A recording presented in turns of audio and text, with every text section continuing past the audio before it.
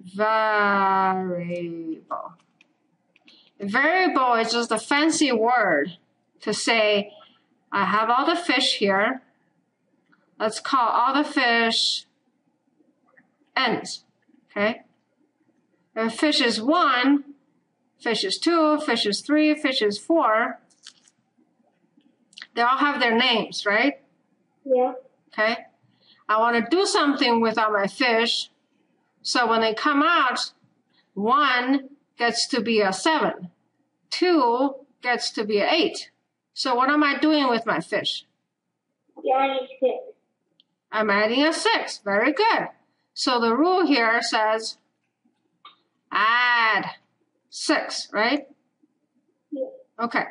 So this variable is a fancy name to say, you know, instead of calling all the fish by themselves, I'm going to tell you all those fish are really called N.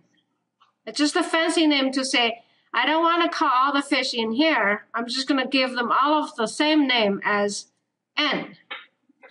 My N can be a 1, my N can be a 4. So whatever the rule says, whatever you do with N, what are you going to do with N once you get it? Well, you're gonna add it to the sign, So I'm going to add a 6. Yeah.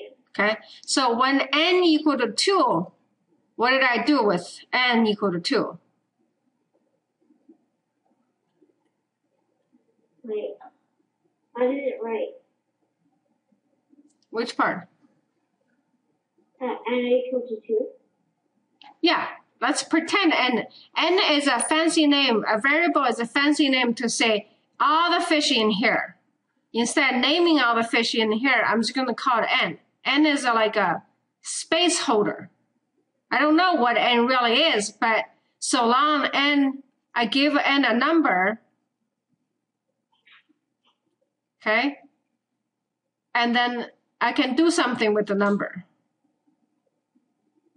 Does that make sense? Not quite? Okay. What would be then another example of uh, variable? Okay. Who are the boys in your class?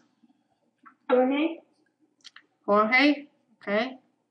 me, Byron. Cooper, Cooper. Connor, Connor. Okay. Aiden, Aiden.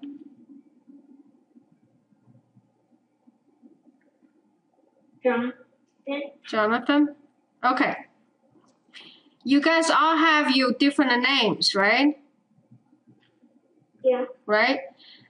But your teacher, Mrs. Holiday, say, all the boys go outside now. Do you go outside? yeah, Why? he's on board. That's right. Same thing here.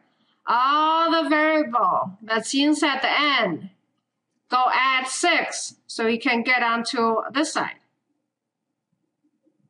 Okay, so variable is just a fancy name, an overall name for all the things that's common in here. Okay,